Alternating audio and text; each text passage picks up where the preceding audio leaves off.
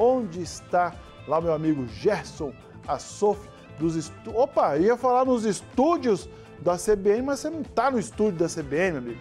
Você está no Hospital do Câncer aí, porque uma audiência pública na capital discute justamente essa situação econômica. Bom dia, Gerson. Pois é, Israel, bom dia toda a nossa audiência aí. Eu estava no Hospital do Câncer e agora estou aqui na Câmara de Vereadores da capital. Continuando aí nesse assunto, como você estava dizendo, de mulheres fortes, eu concordo com tudo que você disse. E, infelizmente, tem uma notícia ruim. O Hospital do Câncer Alfredo Abrão, que atende aí é, a maior parte das, das pessoas com câncer aqui de Mato Grosso do Sul, está para fechar ou corre risco de fechar aqui na capital. Então, esse é um assunto muito importante por isso foi marcada uma audiência pública hoje aqui na Câmara Municipal de Vereadores para tratar esse assunto, discutir sobre a situação financeira e econômica do Hospital de Câncer.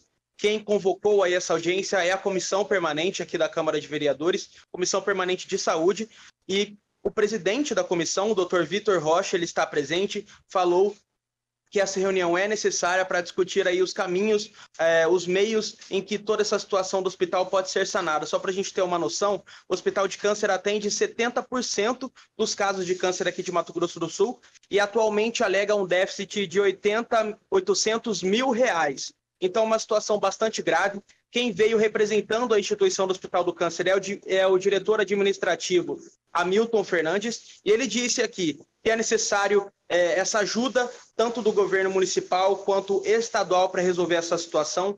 E desde que eles estão aí sem reajuste no salário, sem reajuste no contrato, desde 2018, cerca de 500 pessoas deixaram de ser atendidas para o primeiro atendimento.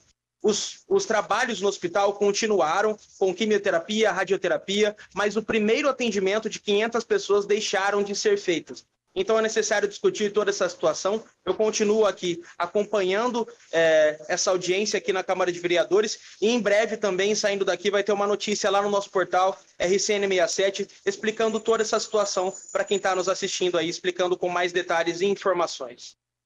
Tá certo, Gerson. Eu não reconheci, rapaz, o estacionamento aí da Câmara Municipal aí na, em Campo Grande. Aproveitar, já que você está aí quase do lado externo, né, no estacionamento, fala para nós aí o tempo aí em Campo Grande, como é que amanheceu essa segunda-feira? Tem previsão de chuva? Choveu forte esse final de semana por aí ou não?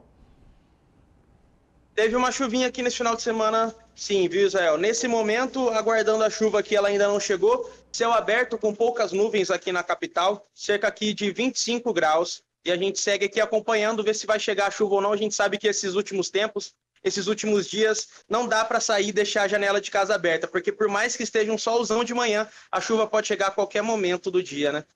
Tá certo. Esse é o Gerson Assofer, rapaz. O cara, ó, nota 10, hein, bicho? Amanhã já sabe, amanhã é dia de sessão na Assembleia, já prepara já aquele seu terno italiano, né?